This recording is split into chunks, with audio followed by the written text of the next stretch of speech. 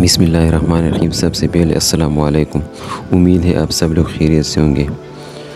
अगर आप हमारे चैनल पर नए हैं और आपने हमारा चैनल को सब्सक्राइब नहीं किया तो प्लीज़ चैनल को सब्सक्राइब करें और बेल आइकन को ज़रूर दबाएँ।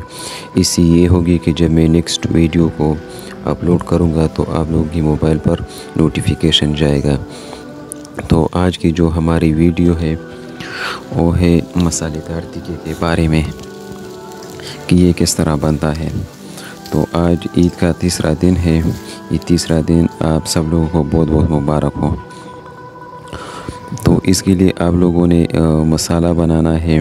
मसाला कुछ इस तरह बनाना है कि आपने सरका और अदरक लीमू और लहसुन इसी तरह सुरख मिर्च और जो हरी मिर्च है इसको लेना है सब्ज़ मिर्च।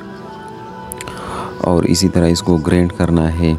और फिर इस जो बड़ा गोश्त है जो बीफ होता है, इसको आप लोगों ने देना है।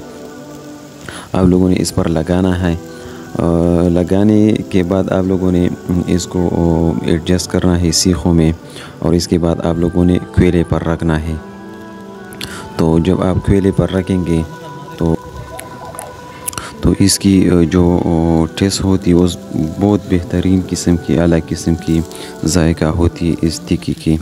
और ये लोग बड़े गोश्त जो होते हैं बीफ उससे लोग बनाते हैं, ये टिक्का। ये भी बहुत मशहूर टिक्का है लंडी कोतल का।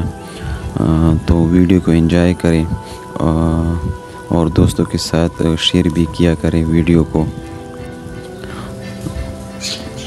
आप लोग ईद के दिन पर आपकी क्या रवायत होती है? मतलब कौन सी डिश बनाते हैं आप लोग? तो भी हमारे साथ शेयर किया करें, कमेंट में लिख लें। तो आपकी इसकी लुक को देख सकते हैं कि ये किस तरह लुक देती है।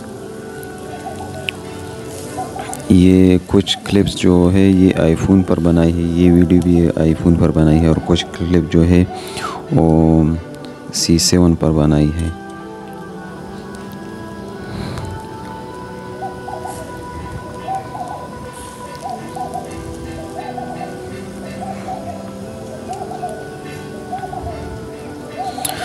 हमारा दूसरा चैनल भी है एम आर अबू हैरा के नाम पर, उस पर मैं टेक्नोलॉजी के रिलेटेड वीडियो अपलोड करता हूँ टेक के रिलेटेड अगर आपने वो, उसको भी सब्सक्राइब नहीं किया तो वो भी सब्सक्राइब करें।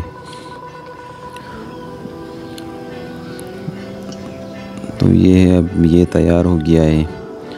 उसकी टेस्ट बहुत लजीज होती है। और ये जो है हमारी लंडी कोतल की तंदूर रोटी है, ये भी बहुत मशहूर है।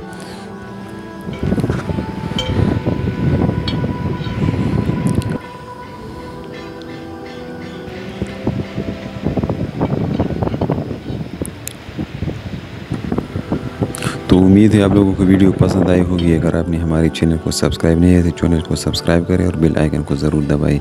शुक्रिया।